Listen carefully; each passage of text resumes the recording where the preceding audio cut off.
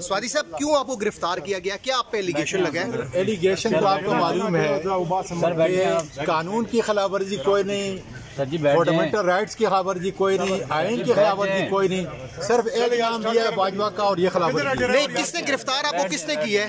ये F I ए ने किस केस में? नहीं एफ़ आई ए लेकिन एजेंसियों ने मुझ पर जो तशद किया गया है। वो एजेंसियों ने किया तो गिरफ़्तार किस जुर्म में किया कपड़े निकाले गए हैं पार्लियामेंटेरियन के कौम और मुल्क को बता रहा हूँ। तुम्हारा हशर ये होगा आपको गिरफ़्तार किस जुर्म में किया गया? कानून की पासदारी स्वाति स्वाति साहब किस जुर्म में गिरफ़्तार किया गया? ट्वीट करने पे ट्वीट करने पे।